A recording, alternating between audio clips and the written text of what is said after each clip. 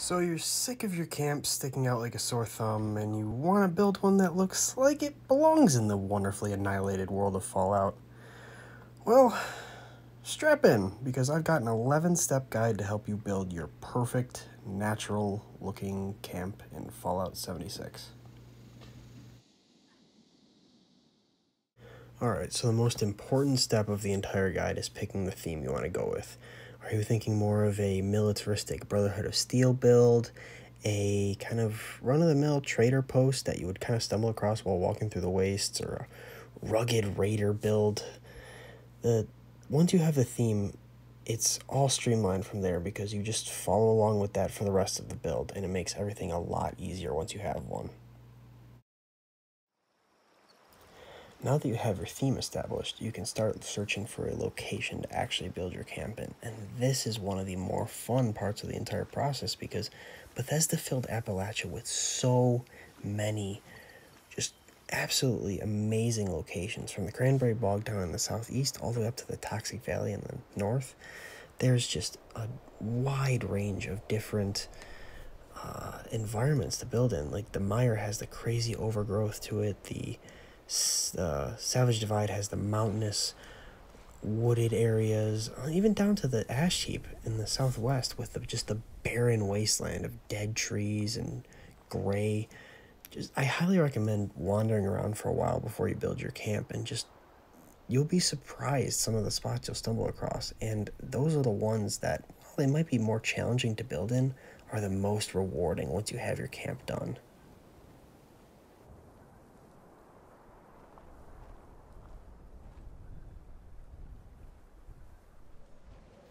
Now that you've picked your location, it's time to actually place your camp module. And this is where you can kind of get creative with it because depending on where you place your camp module, you might be able to do more with your build than you originally expected. For example, if you were to climb up into a tree and place your camp up there, something not a lot of people are aware of is your camp has a set height, but it also has a set depth. And if you place your camp up in a tree, you'll get the original height up from the camp module, but you also get a set depth down to the ground, which is how I'm able to build my watchtower builds. Because once I place the camp up in the tree, I have everything up from there and then everything down to it, so I get a much higher range to build in. Now that you have your camp module placed, it's time to start laying the actual groundwork for your camp build. Now this part is actually very important because depending on how you place your foundations, it could make or break how realistic or natural looking your camp actually looks within the world. Now, when I build, I try and place my foundations as low to the ground and flush with the ground as I possibly can because a cube being placed in the ground is generally not going to look that natural on its own. So, the lower you can get it, the flusher with the ground you can get it, the more or I guess less out of place it'll look when someone shows up and sees it for the first time. Now that you've got your foundations in place, it's time to start actually putting down the framework for your camp. Now, this is very important because this is basically the camp. You are going to be placing your walls, your staircases, your roofs, everything that is a base structure will get placed in this step no details, just a sketchbook outline of how your camp is going to go. And once you have that, then the fun can start. Now, my biggest nitpick when it comes to building a natural looking camp in Fallout 76 is so many times I'll see a camp that's up in the air being supported by just a single staircase. Now, I know that physics don't really matter in this game. They just you can build a 20 ton structure on a single metal or wooden staircase and it just works. No pun intended. But to make it look like it belongs within the world, you have to start placing actual support structures. And in the steps section, you have these metal beams that, when placed correctly can just add that slight bit of realism and natural look to your camp, and it goes such a long way in making your camp look like it was originally there when the game was made.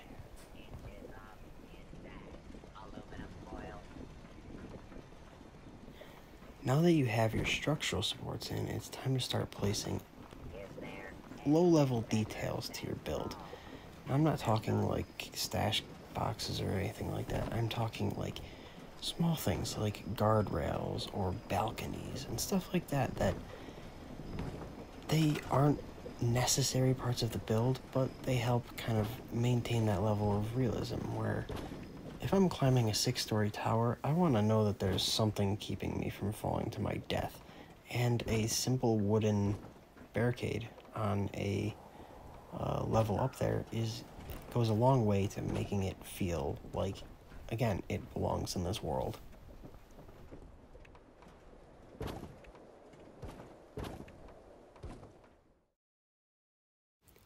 With your camp's basic structure completed, it's time to move on to where you're going to place your utilities.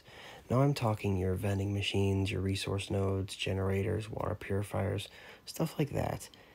And my personal preference when it comes to this apocalyptic world is clutter is a scavenger's dream. You want to have everything close by so you can keep an eye on it. It's never that far away. So what I'll generally do is I'll place a 4x4 grid of foundations or just a small area and I will try and cram everything I possibly can into that small area. Because with everything crammed together, it again, it looks natural. It looks like you don't want your stuff spread out that far. You can keep everything within this close distance and never have to worry if, oh, did that generator get destroyed over there? Did that water purifier get blown up by some super mutants? Everything is within eyesight and earsight, and not to mention, it makes wiring everything up a lot easier when it's just a few feet away.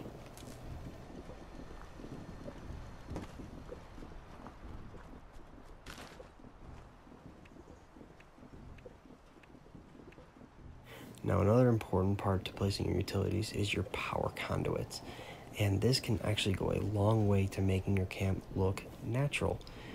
If you're placing your power conduits in a way that has your wires draped across walkways so that you would be hitting your face on a live wire, it's not going to feel like it belongs.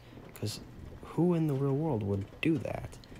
So, generally, what I try to do is when I'm placing power conduits, I'll try to keep them out of sight and out of mind so that, yeah, those lights over there are on.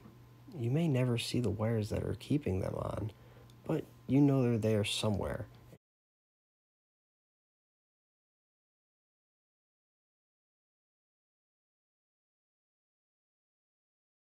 Now, the next step in the process is placing your lighting. And this, again, can go a long way towards making your camp feel like a natural location in Appalachia when I'm placing my lights, I generally tend to try and find places where lights would actually be hanging from. I'm not going to have a ceiling fan light jammed in a corner where it's knocking against a wall every three seconds.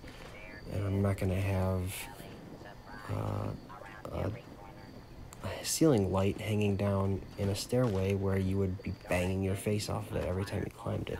I try and keep them up in the corners of rooms where they're giving off enough light to light a room, but they're not interfering with anything. And while we're on the topic of lighting, I want to throw in the importance of natural fire lit light sources, like the oil lamp posts or the oil lanterns. These slightly flickering and orange hues do so much for the natural look of a camp and a few cleverly placed candles or again oil lamps can do so much for setting the atmosphere for your camp. And i highly recommend going and picking up the plan for these because they are a very very essential part of any kind of more darker themed camps.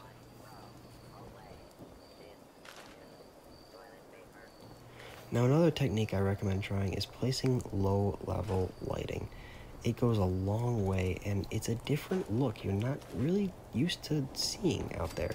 Most camps you go to, they just have a few string lights hanging from the ceiling and that's basically it. You throw a few lights low on the wall and it's a different look. It gives off a new perspective of light coming up instead of coming down and it generally just looks like it belongs a lot of the time. Once you have all that place, it's time to start setting up your defenses. And I'd like to preface this part of the guide by saying, yes, I'm aware that there's massive flying mutated bats in this world. I know that there's mega sloths and super mutants, but if you were to stumble across a random person's camp in this world, your average person isn't going to have 37 missile turrets to protect their water pump and porta potty. It's just not how it works. So, if you're going for more of a natural look, place a few cement tires or some concrete barriers, stack up some crates and put a turret on top of that. You don't need all those turrets. Think of it like this you're going to want to protect the things that are the most important to you like your generators, your resource nodes, your water purifiers. So go place a turret with your generator. Jump up on top of your resource node, drop a turret there. Place concrete barriers in front of these things so that it's tougher for the enemies to make shots on them. Think rationally what would make it tougher for you if you were going to try and attack and no, the answer isn't 37 missile turrets.